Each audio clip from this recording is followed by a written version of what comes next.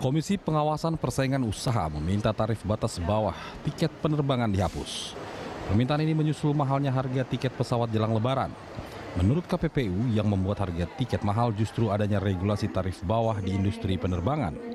Saat ini, Kementerian Perhubungan mematok tarif batas bawah 30 persen dari tarif batas atas.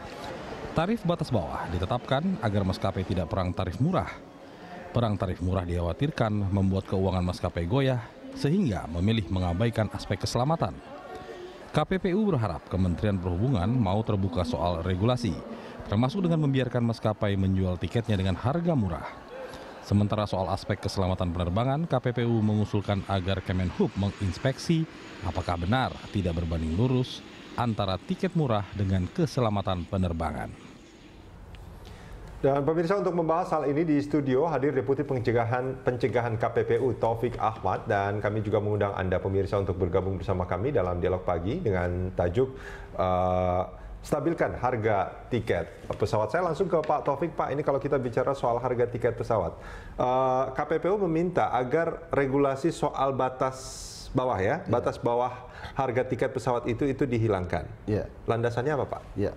Uh, dalam perspektif persaingan e, batas bawah memang sering kali menjadi permasalahan karena e, harga murah yang harga yang relatif lebih terjangkau oleh masyarakat menjadi tidak e, tercapai gitu. Menjadi nah, tidak terjangkau. Tidak terjangkau bisa terjadi seperti itu hmm. karena setiap maskapai mempunyai kemampuan yang berbeda untuk e, mendeliver tarif kepada masyarakat okay. gitu ya. Dan dalam perspektif persaingan sering kita temukan batas bawah ini sering menjadi sarana kartel gitu. Hmm. Dan yang paling apakah itu yang terjadi saat ini? Uh, kalau itu mungkin itu? tidak tidak seperti itu kalau di penerbangan. Tapi yang paling berbahaya seperti di penerbangan ini adalah dia bisa menghambat inovasi pelaku usaha yang hasil inovasinya itu bisa bermuara pada terciptanya tarif yang lebih terjangkau oleh masyarakat. Misalkan tarif seribu tarif batas bawah 1000 sebenarnya dia, dia bisa jualan 900 gitu. Okay. Menjadi tidak bisa. Dan dalam jangka panjang itu bisa menimbulkan inefisiensi industri secara keseluruhan karena hmm tidak ada lagi insentif bagi maskapai untuk melakukan inovasi yang bermuara pada tarif murah. Gitu. Ya. Ini kalau kita bicara soal inefisiensi, ini ada bukti konkretnya nggak sebetulnya ya. Pak Taufik selama ini itu seperti apa? Nah sebenarnya begini, ada hal yang menarik ya ketika diregulasi penerbangan di tahun 2000-an lah. Hmm. E, waktu itu e, eh, KPPU menemukan bahwa tarif ditentukan oleh eh, asosiasi penerbangan. KPPU melihat itu sebagai praktek kartel. Waktu itu ditetapkan batas atas dan batas bawah. Okay. Kami kemudian menyurati Kementerian Perhubungan eh, untuk mengambil alih kewenangan menetapkan tarif itu menjadi dilakukan oleh pemerintah. Okay. Nah, Uh, hasilnya kemudian waktu itu Kementerian Perhubungan waktu itu Pak Agung Gumelar meresponnya dengan menetapkan hanya batas atas saja, batas okay. bawah dilepas. Apa yang terjadi luar biasa tarif penerbangan bisa tereduksi sampai 50% lebih. Okay. Nah, bisa dibayangkan uh, inefisiensi yang terjadi waktu itu. Kita coba lihat uh, situasi ketika krisis, sebelum krisis 98 lah ya karena yeah. deregulasi itu tahun 2000-an tidak, tidak dekat gitu.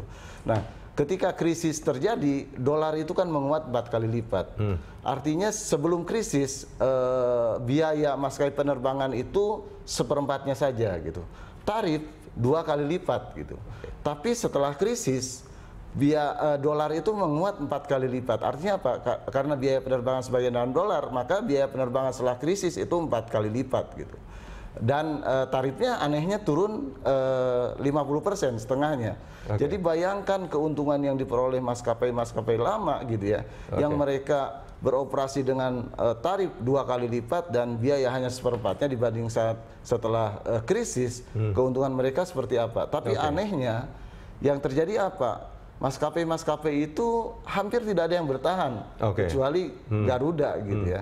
Dan Justru di era persaingan yang ketat ini kita menyaksikan sebuah fenomena yang menurut saya luar biasa bagi Indonesia gitu ya. ya. Tidak banyak sektor yang bisa seperti di penerbangan ini gitu. Hmm. Karena persaingan yang sehat dan e, berlangsung ketat di dalam negeri bisa menghasilkan champion. Dan dan ini sebetulnya ma ya. maaf saya potong dulu Pak Taufik. Uh, dan ini sebetulnya regulasi yang dikembalikannya kembali batas ya. bawah ini itu sebetulnya bentuk apa namanya? Uh, membuat para uh, maskapai penerbangan ini menjadi tidak efisien sebetulnya.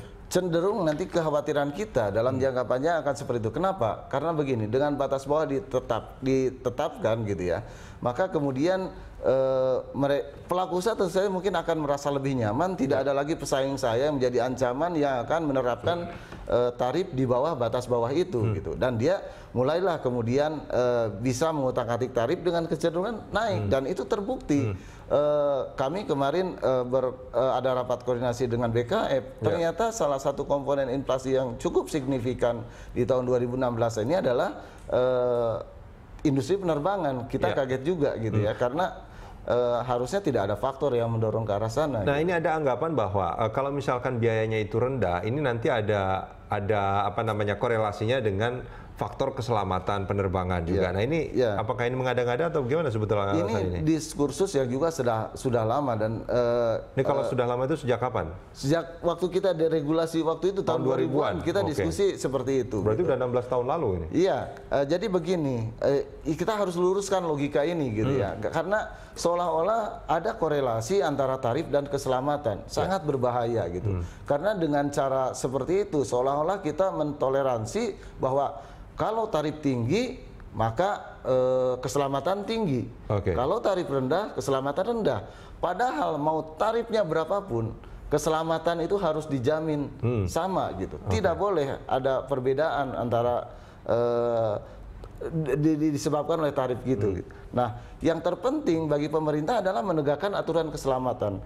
Kalau kita anggap keselamatan itu sebagai biaya, maka dia- adalah biaya tetap. Jadi kalau dia seribu, maka dia harus bayar seribu.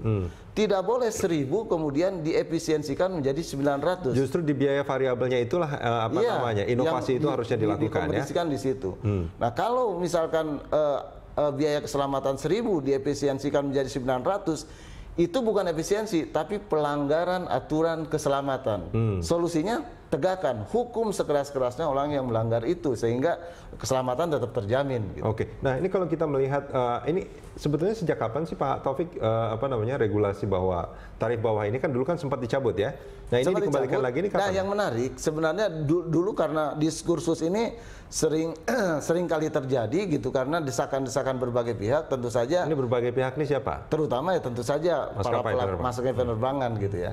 Nah, dari dulu eh, ada diskusi-diskusi menarik eh, terkait seperti ini. Dulu yang menarik eh, keluar yang namanya tidak tarif batas bawah, tapi tarif referensi. Hmm. Oke. Nah, tarif referensi ini fungsinya apa? Kalau maskapai kemudian menetapkan batas bawah apa tarif di, bata- di bawah batas bawah, Hmm. maka dia akan diinvestigasi oleh eh, Kementerian Perhubungan untuk meyakinkan apakah penetapan tarif ini dilakukan dengan tadi mereduksi Dengan menjaga biaya standar. keselamatan, Hmm. keselamatan atau tidak gitu. Hmm. Jadi itu menjadi baik.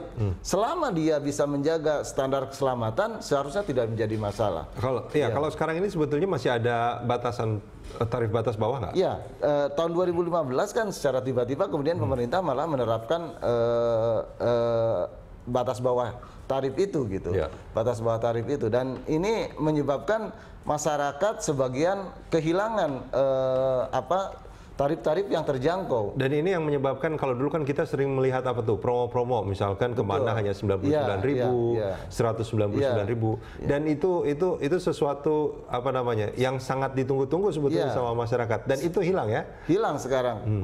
Kita juga harus paham bahwa tarif-tarif 90.000 ribu dan sebagainya itu kan tidak untuk satu pesawat. gitu. Ada yang namanya strategi subklasis di pesawat, di mana setiap eh, orang karena kecepatan dia pesen eh, menjadi berbeda gitu. Ya. Tapi eh, paling yang 99.000 ribu itu ada satu dua kursi gitu. Karena gini, Pak. eh, bisa jadi eh, maskapai itu punya prediksi misalkan bahwa eh, tingkat terisian dia itu eh, misalkan 75% gitu Ya. ya. Sehingga yang 25% itu barangkali dia prediksi bakal kosong. Nah, daripada kosong, Lebih maka baik lebih dijual. baik kita jual gitu dengan harga-harga yang kompetitif dan itu Oke. yang mungkin membantu banyak masyarakat Dan itu yang hilang saat ini. hilang dan eh, terbukti dari hasil kajian KPPU eh, kemarin beberapa daerah yang eh, sangat tergantung dengan moda transportasi ini mengalami penurunan yang signifikan. Contohnya di mana saja Pak Taufik? Misalkan di Yogyakarta, Yogyakarta. yang tujuan-tujuan destinasi wisata lah biasanya, atau juga wilayah-wilayah yang di- dilalui melalui eh, maskapai penerbangan. Pak Taufik, kita jeda sebentar. Kita akan lanjutkan ini di segmen berikut nanti. Ya.